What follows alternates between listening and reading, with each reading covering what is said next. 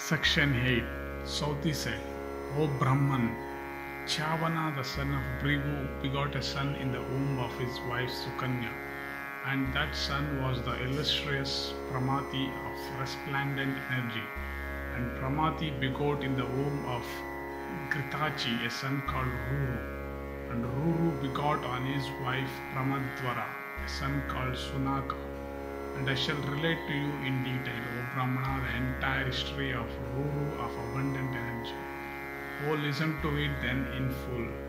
Formerly, there was a great rishi called Stulaksha.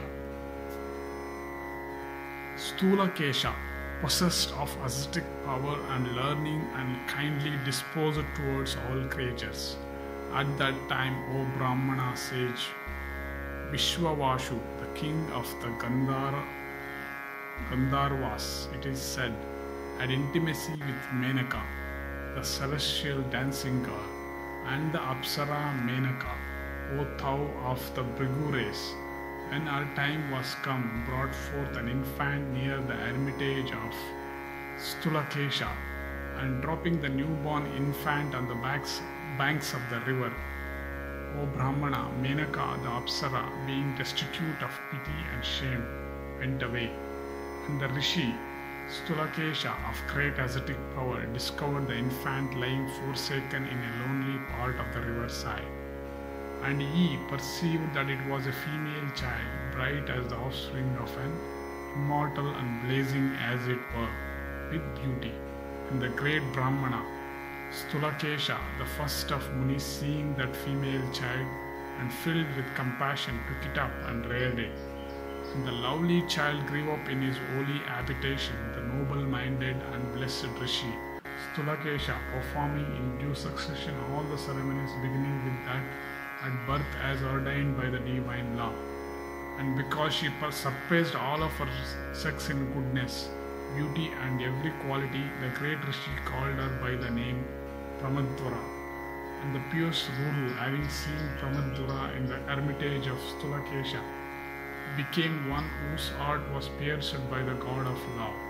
And Ruru, by means of his companions, made his father Pramati, the son of Bhrigu, acquainted with his passion. And Pramati demanded her of the far famed Stula Kesha for his son. And her foster father betrothed the virgin Pramadvara to Ruru, fixing the nuptials for the day when the star Vargad Daivata, Varga Daivata, Purva Palguni would be ascended. Then, within a few days of the time fixed for the nuptials, the beautiful virgin, while at play with companions of her own sex, her time having come, impelled by fate, trod upon a serpent which she did not perceive as it lay in coil.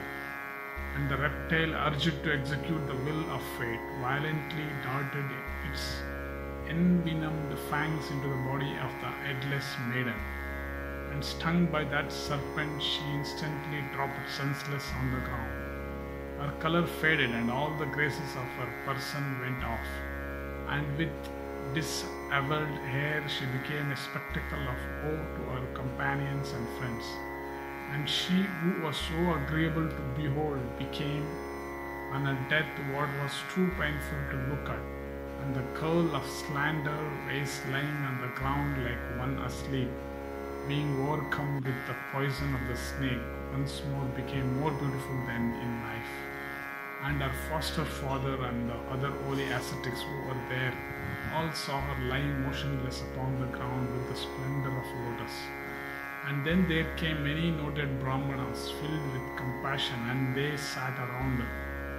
And and Swastya Swastya Treya, Mahajana, Kushika, Sankamekala, Udalaka, Kata, and Shweta of great renown, Bharadwaja, Kaunakutsya, Arshti Sena, Gautama, Pramati, and Pramati's son Ruru, and other inhabitants of the forest came there. And when they saw that maiden lying dead on the ground, overcome with the poison of the reptile, that had bitten her, they all wept filled with compassion. But Ruru, mortified beyond measure, retired from the scene. So ends the eighth section of the Pauloma Parva, of the Adi Parva, of the blessed Mahabharata.